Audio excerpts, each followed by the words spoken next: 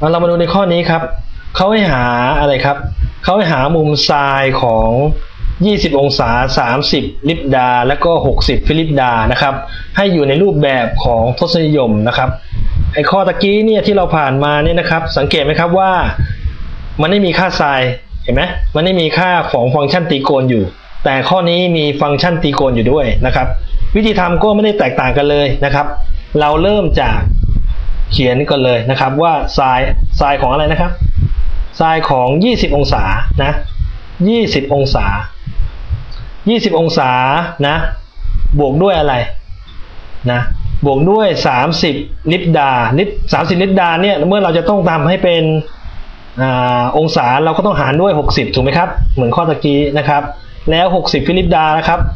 นะ60 ฟิลิปดาเราก็ต้องหารด้วยเท่าไหร่ครับ3,006นะ เมื่อเราได้อย่างนี้แล้วนะครับ เราก็กดเครื่องคิดเลขนะเครื่องคิดเลขก็คือคำนวณค่าในวงเล็บนี้ก่อนนะครับนะเมื่อเรากดเครื่องคิดเลขแล้วปุ๊บเราก็จะได้นะก็คือเอา 20 บวก 3 30 บวก 60 นะครับ บวกด้วย 60 หาร3มัน6นะครับ เราก็จะได้ในวงเล็บนี้ออกมาเท่ากับ 20 จุดนะครับ 5 5 1 1 5 1 6 6นะ5 1 6 6นะ เอาแค่4ตำแหน่ง เอา5ตำแหน่งแล้วกันเนาะ5 1 6 6นะ พอมาถึงปุ๊บตรงนี้นะครับ แล้วเราก็เอาค่านี้นะครับ ไปกดฟังก์ชันไซน์ในเครื่องคิดเลขนะครับ เข้าใจไหมฮะ เอา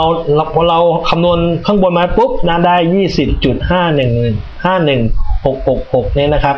แล้วเราก็ไปกดเครื่องคิดเลขนะครับนะเอาค่าไซน์ใส่ตามวงเล็บนี้เลยนะครับ ไซน์แล้วก็ใส่ในวงเล็บนี้ เราก็จะได้ค่าออกมานะครับ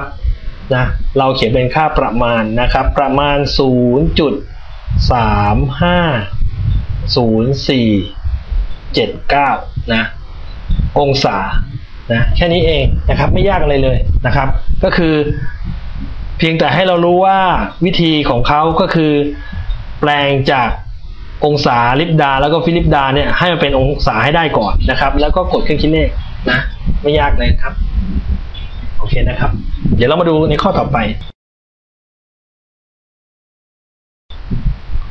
เรามาดูในข้อนี้ครับเขาให้หามุมของ sec นะเดี๋ยวมาดูนะครับ sec นะครับ sec คือเศษหนึ่งส่วน cos ถูกไหมครับ sec ของ 42 องศา 16 ลิปดานะครับแล้วก็ 26 ฟิลิปดานะครับ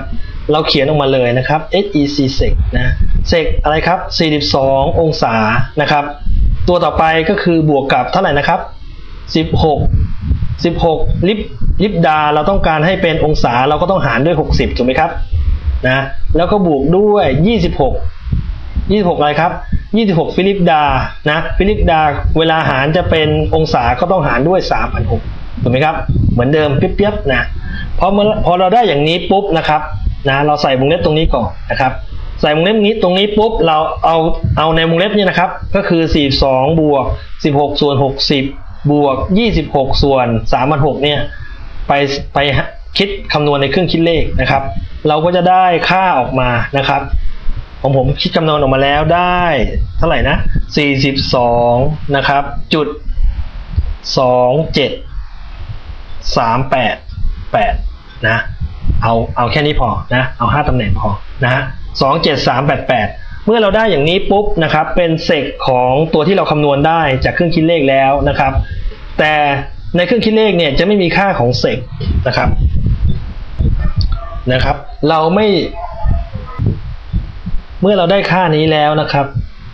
เรารู้เรารู้มาว่า sec เนี่ยนะครับเพราะเรารู้อยู่แล้วนะครับว่า sec เนี่ยเราจะหาได้ก็เท่ากับเศษหนึ่งส่วน cos ถูกไหมครับ นะเซนหนึ่งส่วนคอสเพราะฉะนั้นเรา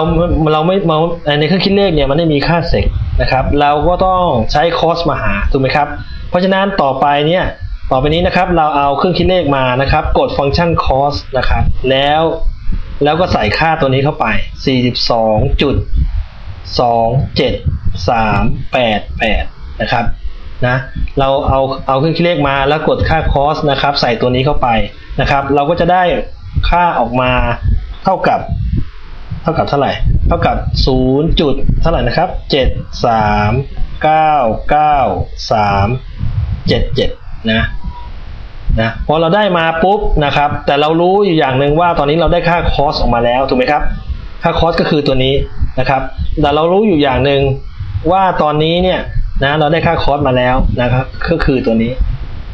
นะครับ เพราะฉะนั้นเราต้องการรู้ค่าเซกเพราะฉะนั้นเราก็ต้องเอาอะไรครับ เอาหนึ่งมาตั้งนะครับ แล้วก็หารด้วย ตัวนี้ก็คือศูนย์จุดเท่าไหร่ครับศูนย์จุดเจ็ดสามเก้าเก้าสามเจ็ดเจ็ดนะครับนะก็จะได้เท่ากับเท่ากับเท่าไหร่ครับ เอาเครื่องคิดเลขคิดนะครับ ก็จะได้เท่ากับหนึ่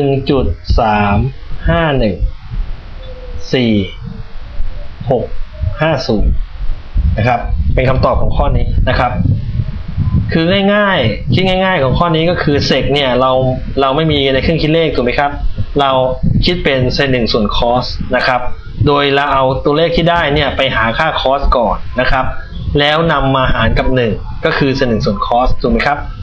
นะก็จะได้ 1.3514 650โอเคนะครับข้อนี้